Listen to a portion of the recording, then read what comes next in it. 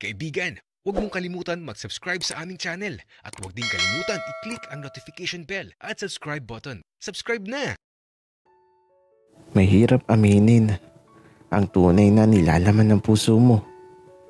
Nakakatakot kasi na masaktan. Nakakatakot na baka magbago bigla ang lahat. At nakakatakot na maiwanan sa isang sitwasyon na tila ba walang sasalo sa iyo kapag nahulog ka sa isang taong di ka sigurado sa tunay na nilalaman ng mga puso nyo.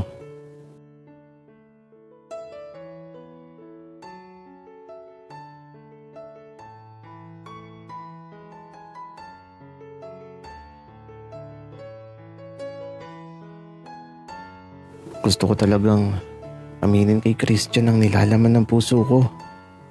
Subalit natatakot ako ano bang dapat kong gawin? Mas mabuti na siguro na itago ko na lang muna yung tunay na nararamdaman ko. Di pa din naman kasi ako sigurado.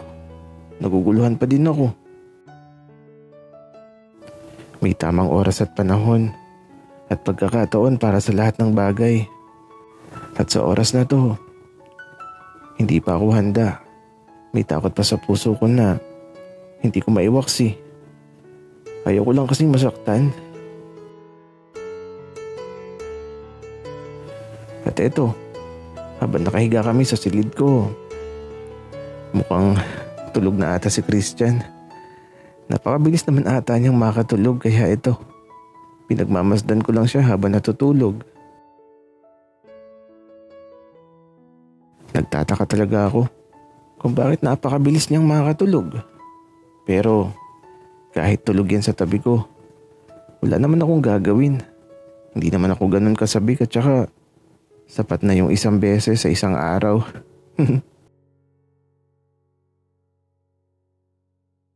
Ay nako, bakit ko ba naiisip ang bagay na yun? Mahirap pala kapag nasarapan ka sa isang bagay. Babalik-balikan mo. Nakakatukso pero kalma lang. Baka mamaya eh mahuli ako ni Christian. Eh di yari ako.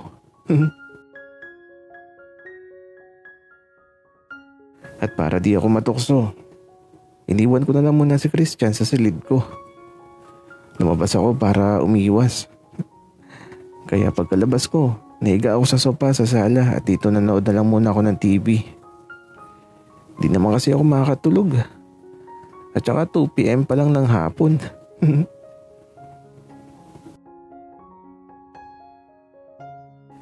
Kapag natulog ako ngayon eh, sigurado hindi ako makakatulog mamayang gabi. At ito habang nanonood ako ng TV, parang may tao sa labas. May nag-doorbell kasi.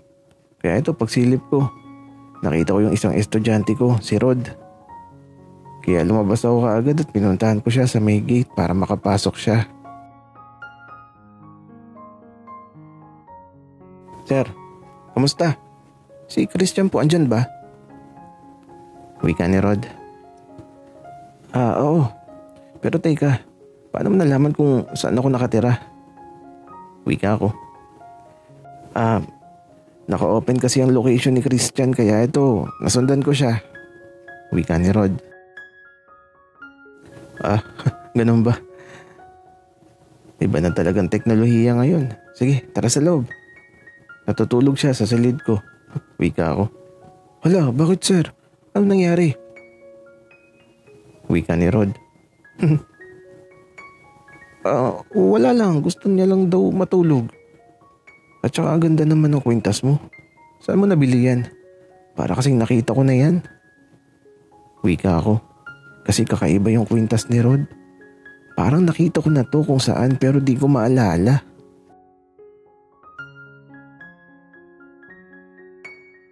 Ah, ito bang kwintas ko sir?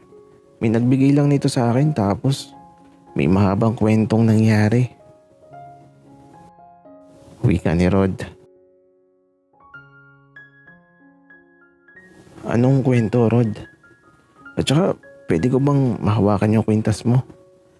Para kasi nakita ko na yan noon. Wika ko. Ah, uh, oo naman, sir. Pwede sir. Wika ni Rod. Kaya to hinawakan ko kagad yung kwintas at Tinitigan kong mabuti. Tapos parang nahilo ako. Napapikit yung mga mata ko. At eto, tila ba naglakbay ako sa kakaibang mundo. Nakatayo ako sa gilid ng balon. Kulay pula ang langit. At ang dating pag-ibig ay muling nagbalik. Natakpan ng maitim na ulap ang buwan. At sa muling pagsinag ng liwanag nito, naging payapa ang lahat. Tuluyan ang naputol ang sumpa. Subalit ang pinaglayo, kailan muling magtatagpo. Sir, gising. Uy, sir, anong nangyari sa'yo? Wika ni Rod. Nagising ako na nakahiga sa sahig sa labas ng bahay. ano nangyari? Uh, sir, ano nangyari? Bakit ka nawalan ng malay? Natakot talaga ako. Wika ni Rod. Okay lang ako. Ang tanging sagot ko. Tapos ito, tumayo na ako na maayos at pumasok na kami sa loob ng bahay. Subalit ano ang nakita ko? Na naginip ba ako?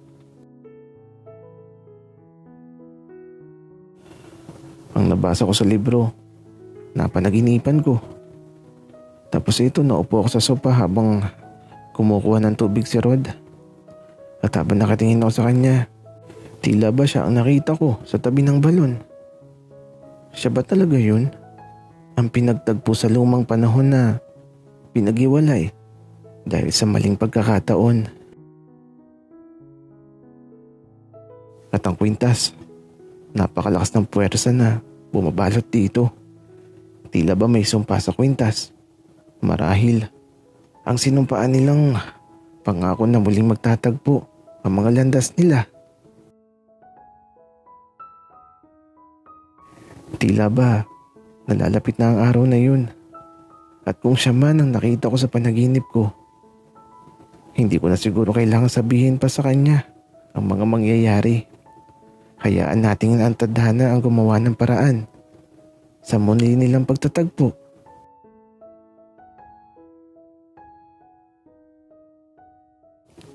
Sir, uminom ka muna. Wika ni Rod. Kaya ito kinuha ko yung tubig na dala niya. Tila ba uhaw na uhaw ako? Para kasi naglakbay ako ng napakalayo.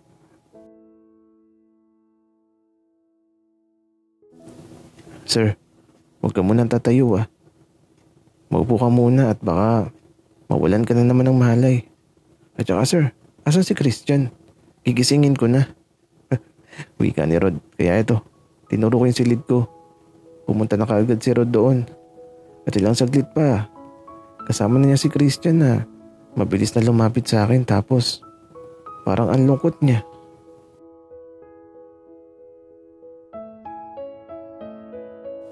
Oh, ano nangyari sa'yo? Wika way Christian. Uh, sorry sir, may masakit ba sa'yo? Wika ni Christian. Okay lang ako. Ano ka ba? Huwag kang mag-alala. Wika ko tapos nagulat na lang ako. Nabigla akong yakapin ni Christian. Napatingin tuloy ako kay Rod na tila ba. Nagulat din. Napatakip siya ng bibig. okay na ako. Huwag na kayong mag-alalang dalawa. At saka sakto andito si Rod. Tara, manood tayo ng nakakatakot. Wika ako. Sir, ayos yan. Gusto ko yan. Wika ni Rod. Sir, ayoko. Nakakatakot kaya. Wika naman ni Christian. Ah, eh paano ba yan? Dalawa kami, mag-isa ka lang. Kaya panalo kami. At saka huwag kang matakot, Christian. Ano ka ba? Di naman totoo yung mga ganun. Wika ako. Hala, sir, ayoko. Matutulog na lang ako sa kwarto mo. Wika ni Christian kaya ito. Umalis na siya at nagtungo na muna sa rep. Mukhang kumuha ng pagkain tapos diretso siya doon sa kwarto. At kami naman ni Rod ito, naiwan sa sala at nanood ng mga nakakatakot na palabas. Sir, bagay kayo ni Christian. Wika ni Rod. Medyo nagulot ako sa sinabi niya. Ha? Anong ibig mong sabihin? Wika ako naman. Sir, halatang halata naman na gusto ka niya eh. At gusto mo din siya. Kilala ko yung si Christian. Ganyan siya kapag mahal na niya isang tao. Pabebe tapos gusto laging kasama yung mahal niya.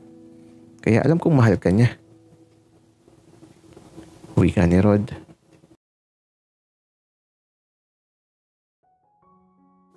Ganon ba yun? Wika ako. Oo, ganun yun. Pero ikaw ba sir? Kamusta ka ba? Kamusta yung nararamdaman mo para sa best friend ko? Wika ni Rod. Di ko tuloy alam yung sasabihin ko. Ah, Rod. Hindi naman natin kailangang magmadali. Kasi ang nakatakda ay mangyayari sa tamang panahon at tamang pagkakataon kung saan handa na ang mga puso nating magmahal ng taong sadyang para sa atin. Hayaan nating mangyari nakatadana. Wika ko kay Rod. Tapos ito, nakita ko na lang na umagos bigla yung mga luha ni Rod. Hindi ko maunawaan kung bakit siya lumuluha pero kung siya talaga ang taong napadpad sa lumang panahon, hahayaan ko na lang ang mga luha niyang dumaloy sa kanyang mga mata. Pero huwag kang mag-alala, Rod. Malapit na mangyari ang pinakahihintay mo.